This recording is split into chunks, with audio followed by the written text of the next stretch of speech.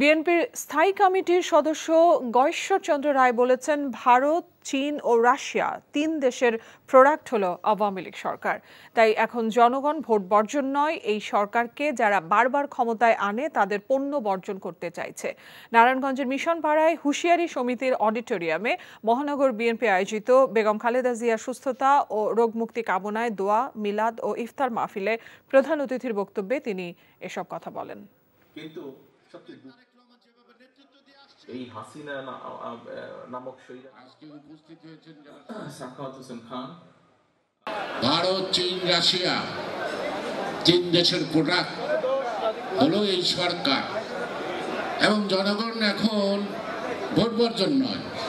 এখন বলছে ওদের যারা এই ক্ষমতায় বারবার আনে তাদের পণ্য বর্জন। ভারতের সবচেয়ে নিম্নমানের প্রোডাক্টই হলো আওয়ামী লীগ এবং এই সরকার। এই ঈদে দেশ জুড়ে কেনাকাটার ফুর্তি হবে শুধু বিকাশে। সাথে ডিসকাউন্ট কুপন ইনস্ট্যান্ট ক্যাশব্যাক